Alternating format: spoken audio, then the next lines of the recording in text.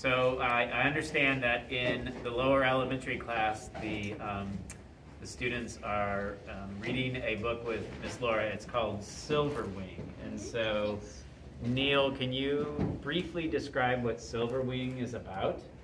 So it's about this um small bat named Sh- Shade who gets lost who gets lost in a storm in a, in a migration, and he's fi- trying to find his way back to his colony. He's trying to find his way back to his colony. Okay, and so you guys read that, Miss Laura reads this to you? Okay, Yes. all right. And my, I understand that that has like sparked an interest in bats for you, is that right? Pretty. Okay, all right, so Noel, after, who, who came up with the idea to do this research on bats? Miss Laura. Okay, and what did she, she suggested that you guys just look into it further? No, Well, she's she just said like we could write like the names of the kinds. like Oh, the different types of names of bats. Yeah, and, and we went a little farther and did some research. So what did, how did you go a little bit farther? Like we used these pieces of paper, and um, we wrote some things about the bats that we got in these books. Okay, so, uh, Owen, where did you get the books? How did you, uh, how did you get these books? Um, we went on a shelf right over there and we grabbed out the animal encyclopedias. Yeah, And then we went to the table of contents and we found either bats or the B section. Uh-huh. And then we looked for bats and then we decided what we were going to research. okay, and, um, so, Sam, which bat did you research? Well, each doing at least three. Oh. No, at least two.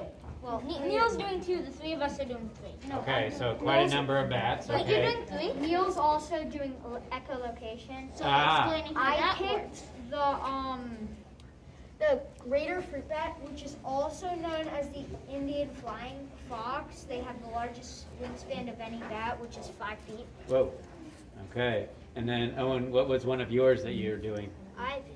I picked the ghost bat. It's two to five inches long and it eats birds, mice, and other bats. Its wingspan is about like two feet. Okay, cool. And Noel, how about you? What's one you're researching? Um, I just finished the spear-nosed bat. It's a, it's about um, like a, a couple inches big, Oh, so it's, five. so it's a lot smaller than the one Sam was researching. Yes, but my second one's like um three and a half. And this one's like um, it has a little spear on its nose, like a horn. Ah, like that's a good fact, okay. And then, Neil, you were studying echolocation. Have you already done it, or are you're about to study it? No. You're about to. Um, so the bat I already studied is the American long-eared bat, Uh-huh. which is which has a which has a wingspan of um nine to eleven feet and it's like for the um five centimeters. Nine to eleven. Nine to eleven inches. I mean. Yes, No. that's all right. Yeah. Um, it can't be feet because this Well, is the yeah. one. Oh, that's great. Well, that's, it sounds like you guys were just, got, you got sparked by this book and did some research on your own, is that right? Yeah. Yes. A lot of it. We Awesome. even we even did it in recess. You even did it in Yeah, recess. we, we skipped all of recess and researched. Awesome. Thanks for sharing, guys. I appreciate it.